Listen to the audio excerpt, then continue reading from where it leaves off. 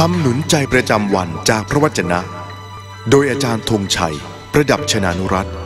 ขอล่ำที่ 113 ตอน จะรู้ได้อย่างไรว่าพระเจ้ากำลังนำเราอยู่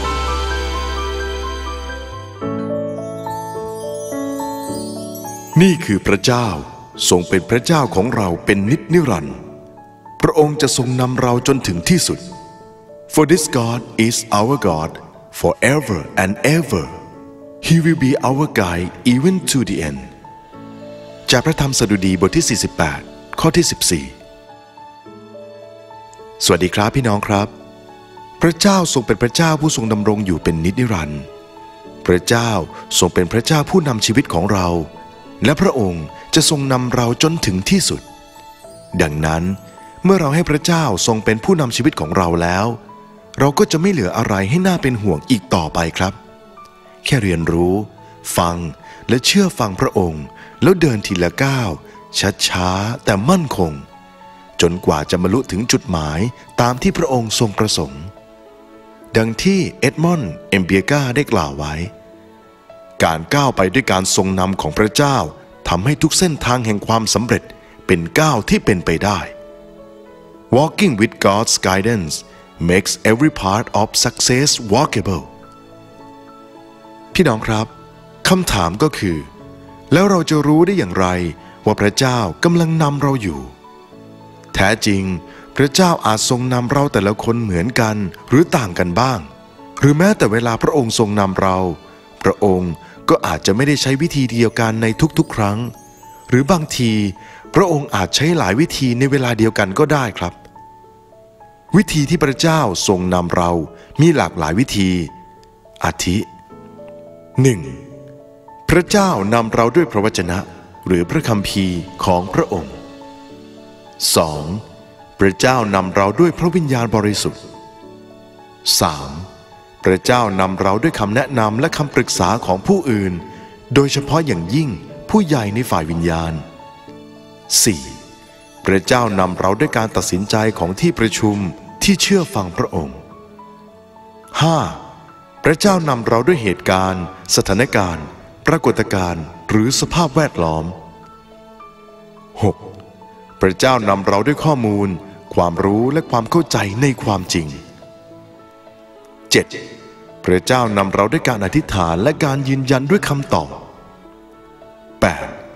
พระเจ้านำเราด้วยการยืนยันจากอุปกรณ์ที่ได้รับการยอมรับ หรือจับฉลาก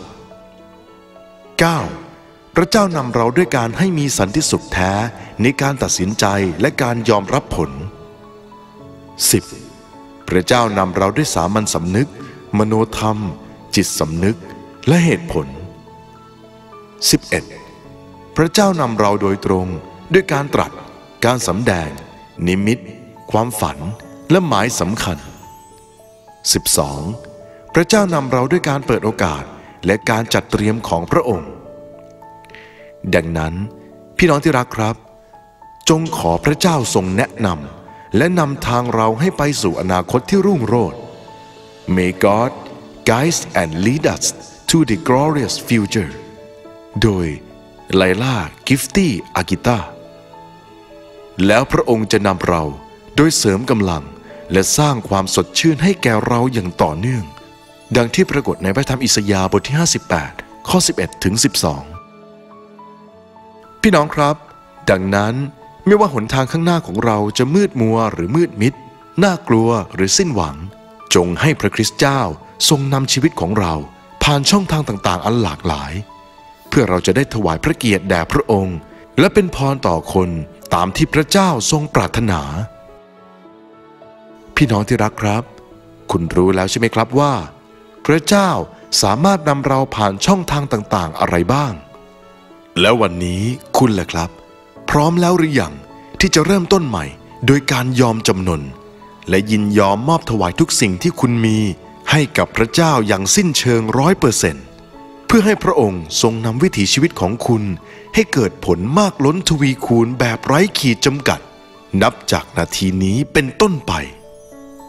คุณจะอาเมนด้วยไหมครับ ขอพระเจ้าอวยพรครับ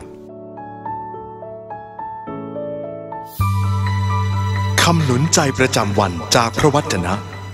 โดยอาจารย์ธงชัย ประดับชนานุรัตถ้าใครชอบอย่าลืมกดไลค์กด Subscribe กดแชร์และกดกระดิ่งให้ด้วยนะครับ